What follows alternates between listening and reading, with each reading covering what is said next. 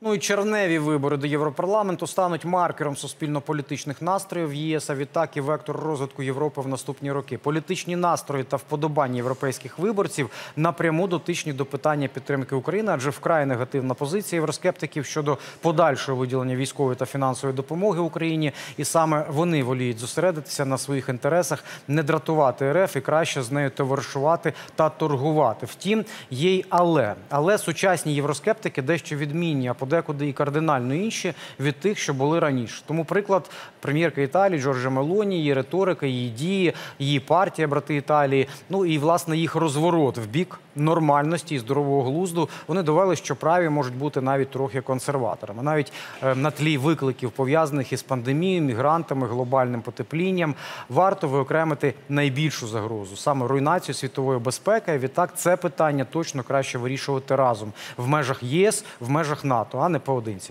Події початку Другої світової в 39-му році вкотре це доводять. Ну і питання до Максима Джигуна, політолога. Пане Максиме, вітаю вас. Доброго вечора. Добрий вечір вам. Дякую, що долучилися до ефіру. Питання таке: чи такі вже е, страшні ультраправі, чи є в них ресурс набрати понад 50% голосів своїх виборців, виборців на тих виборах, які ну ще будуть?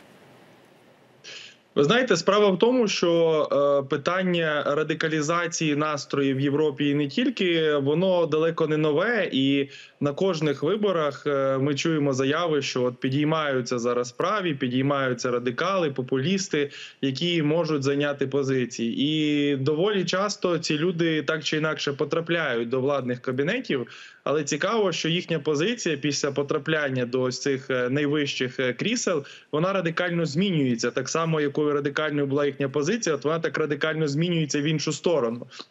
І е, ми можемо бачити приклад минулорічний в Нідерландах, де переміг ультраправий е, Герт Вілдерс, представник е, партії, яка е, вболівала за те, аби і антиісламські наративи просувати, і взагалі заборонити міграцію і допомогу Україні е, зупинити і багато інших речей, які ну от просто рясніли такими гострими заявами, але довелося змінювати доволі швидко риторику, тому що вже п'ятий місяць триває е, період формування коаліції в Нідерландах. Вілдерс ніяк не може домовитися з жодною із 15 партій е, їхніх представників, які пройшли до парламенту. Відповідно, починає поступово відмовлятися від тих гострих заяв.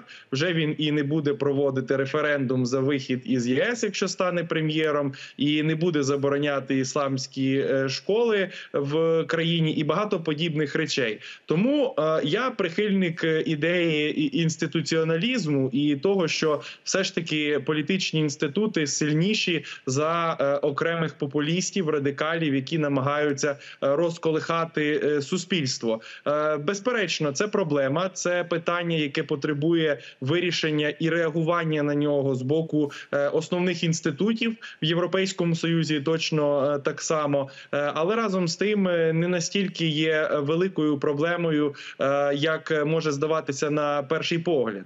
І справа в тому, що є кілька причин для появи ось таких е, рухів в на європейському континенті та й в інших регіонах. Перше, це те, що е, дуже легко радикалам набирати політичні бали під час е, криз. Останні два-три політичні цикли в ЄС е, були доволі кризовими, і зараз ми бачимо заяви багатьох економістів, які е, кажуть, що буде рецесія наступні 3-4 роки в європейських країнах. І от на цьому фоні, коли люди починають заробляти менше, коли є інфляційні процеси, а до цього ще й е, призводять проблеми е, масової міграції, воїн і подібних речей. От тоді власне з'являється простір для е, таких маніпуляцій, які вони проводять. А інша проблема це Росія. Росія роками фінансувала не тільки пропагандистські матеріали в європейських змі, але й безпосередньо купувала от просто пачками Пане Максиме, ну от врешті, пане Максиме, от врешті ви просто підвели до фіналізації організації е, діалогу, але в цій частині ще уточнення є.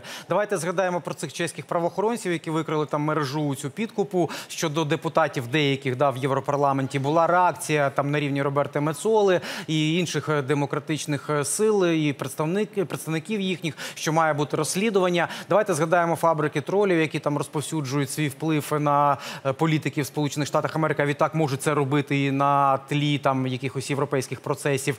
Це матиме е, ну помітний вплив, скажімо, на загальну риторику і підтримку, що важливо, виборців таких політиків. Як вважаєте? Коротко.